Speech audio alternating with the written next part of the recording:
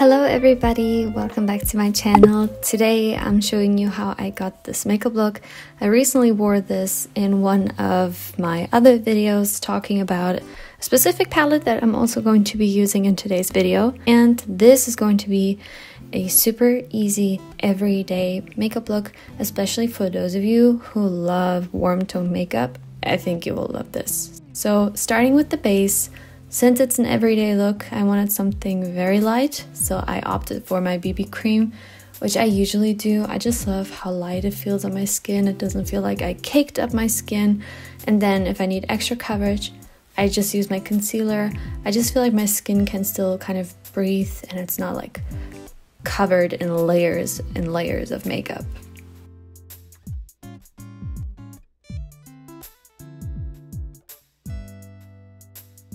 I've been applying my concealer like this now for months and I still love how it defines my eyes and like my facial bone structure kind of complements everything so nicely. So I love doing that. I'm setting very lightly with a powder wherever I feel like I'm looking too shiny, but I don't powder my entire face. I want to keep kind of like a natural glow on my face.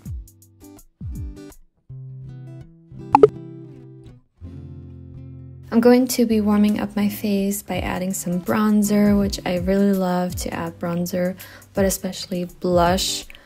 Blush just brings back life to your face like nothing else does. When someone says, Oh, I'm not a blush person, I don't like to use blush, I'm just like, How? When I don't use blush, I hate how my makeup looks. For eyeshadow, I'll be using this Etude House Eye Palette. It's the Caffeine Holic palette. I absolutely love this so much. I am pretty neutral to cool, but I still love using it. And do keep in mind that since I'm pretty fair, this palette looks a lot more like warm toned and more like extravagant on me than if you had a little bit of a deeper skin tone. I think that for someone who's like medium skin toned, this could be the perfect everyday warm palette I love to reach for this during the fall time, but also during the summertime. Kind of gives you like that burnt, bronzy kind of look. So I love this. Everything blends so easily, and I'm basically taking just all matte shades and I just deepen my crease with each shade at a time. And that is basically how I did my eye makeup. It's super simple and easy, and this palette just makes it super easy for you.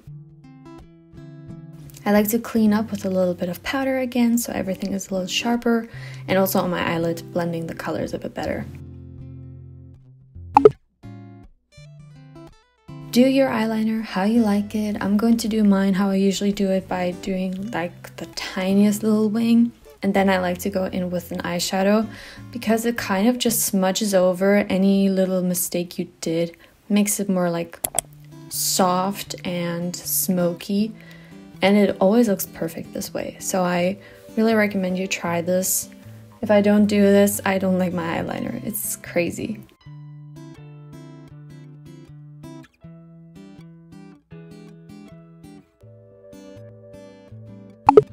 For mascara, I'm going to be using my favorite mascara at the moment, which is this one from Romand. It's the Han All Fix Mascara.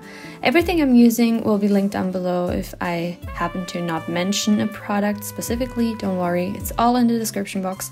But this mascara is so good if you like natural defined lashes. For my brows, nothing special.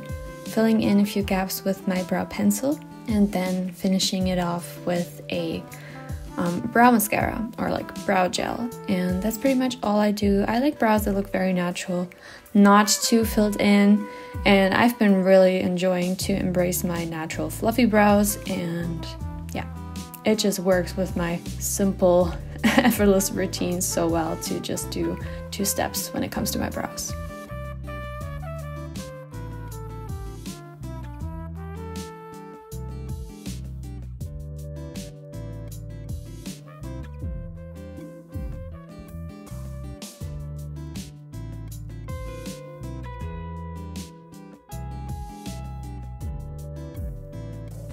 Now onto lips, you can definitely do whatever you like, keep it completely nude, add a color, whatever you want. I'm starting off with a nude lipstick as a base and then I'm going in with a more rosy color in the inner part, but don't worry, I don't leave it like that. I just blend it all together so it kind of creates a very natural gradient, but also a little bit more of a lighter pink color since we are mixing it with a nude and I think this is perfect every day. I really enjoyed this look. Like overall, I think it's so nice. And last but not least, highlighting my nose my cupid's bow, and my inner corners.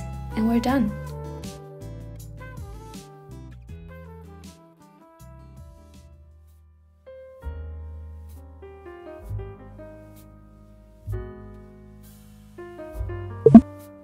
Thank you guys so much for watching. I hope you guys enjoyed this. If you did, give me a thumbs up or don't. It's completely up to you. And I hope to see you in my next video. Take care.